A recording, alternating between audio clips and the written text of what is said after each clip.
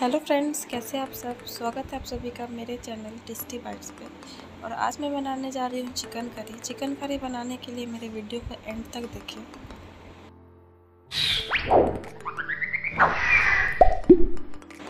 यहाँ मैंने लिया है दो के जी चिकन। और इसमें अब मैं हल्दी ऐड करूँगी।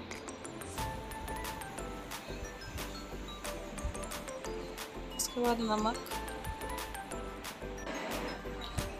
अब मैं इसमें जिंजर गार्लिक पेस्ट ऐड करूँगी। इससे टेस्ट अच्छा आता आप घर में बना के भी ऐड कर सकते हो। मैं बाहर से ले आई और अब इसे अच्छे से मिक्स कर लें।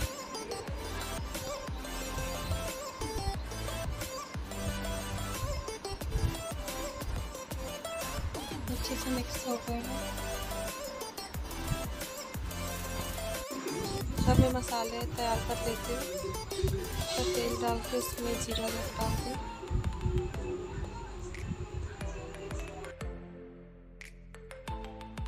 जीरा चटक जाए तो इसमें प्याज डाल दें। प्याज डालने के बाद इसे गोल्डन ब्राउन होने तक छोड़ दें। अच्छे से गोल्डन ब्राउन हो जाए।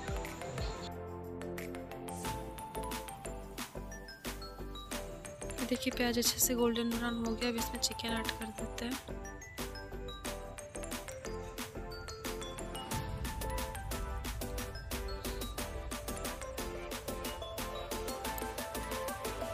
एक बार अच्छे से मिक्स कर दें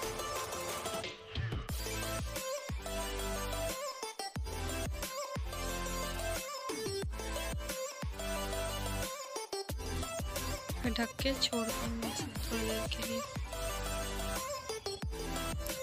ये देखिए, हल्का पक गया है ये। और अब मैं इसमें मसाले ऐड कर दूँगी।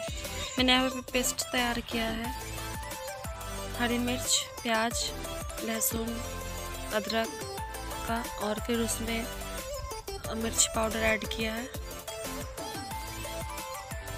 और अब मैं इसमें धनिया पाउडर ऐड करूँगी।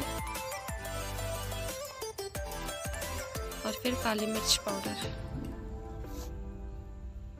जितना चिकन है उतना अकॉर्डिंग मसाले ऐड कर लें। चिकन में सारे मसाले को मैं ऐड कर दूँगी।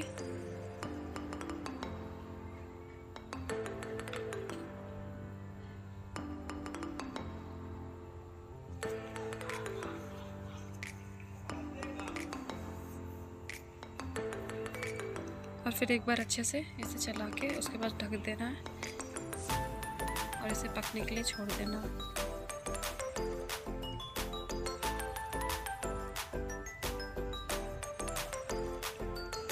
ये देखिए मैं चिकन चेक कर रही हूँ और लगभग हो ही गया है, पक गया अच्छे से।